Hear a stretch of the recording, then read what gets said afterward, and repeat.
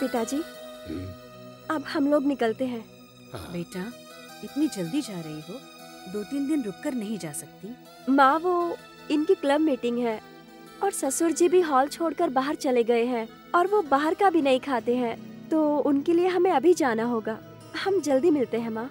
गंगा चाहो तो तुम दो दिन रुक के आ जाओ। मैं और पापा संभाल लेंगे। नहीं जी मेरा डांस का प्रोग्राम भी तो है और हम इसी शहर में हैं। बाद में आकर मिलते रहेंगे। आप बिल्कुल चिंता मत कीजिए। संगीता संगीता जरा लेकर आना। ये ले लो। ये क्या है माँ? इडली बैटर। घर जाके खाना बना सकती हो। ये लो। गंगा तुमने बेकार ही मम्मी को तकलीफ़ दी। कोई तकलीफ़ नहीं है। बेटियों को उनके मायके से कुछ देने में कैसी तकलीफ़? कोई बात नहीं है। चलती हूँ माँ। चलती हूँ पिताजी। हाँ। चलती हूँ संगीता। जी दीदी। अच्छा मम्मी चलते हैं। माँ हम लोग जा रहे हैं। अरे तुम निकल रही हो क्या?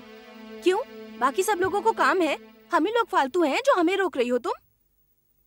ऐसे क्यों बात कर रही हो? तो और क्या करूँ? कभी उन लोगों को इस तरह से नहीं रोकती तुम। जब देखो तब हम ही पे हक जताती हो। दुर्गा तुम माँ से ऐसे क्यों बात कर रही हो? आप चुप रहो। आपको कुछ नहीं पता। बस कीजिए चुप हो जाइए दीदी। यहाँ सब लोग शांत हैं तो आप कुछ भी बोलती रहोगी। हाँ सही कहा। ये तो शांति का बगीचा है ना। मैं ही जब देखो तब आकर यहाँ शांति भंग करती हूँ। हॉल में जब वो आदमी झगड़ा कर रहा था तब कहाँ गई थी शांति? दुर्गा अब चलो यहाँ से।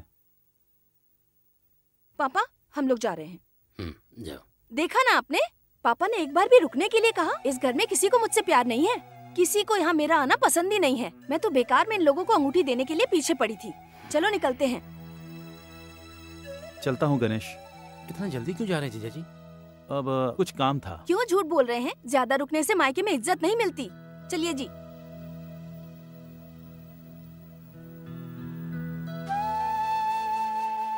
क्यों माँ?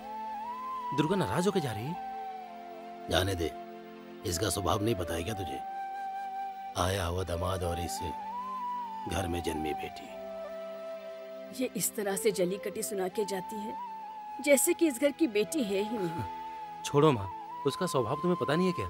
वो खाली बड़बड़ करती है मन में कुछ नहीं रहता। तुम देखना माँ सुबह फिर से तुमसे मिलने आएगी है